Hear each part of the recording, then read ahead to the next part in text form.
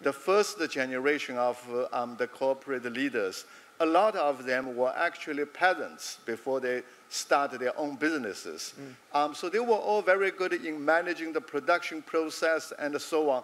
But to, uh, to some extent, we experienced this some kind of generational change. Mm-hmm. For many companies, you actually had a crisis because you now need a very different group of corporate leaders to lead the, the, the company. So that's why you distinguish.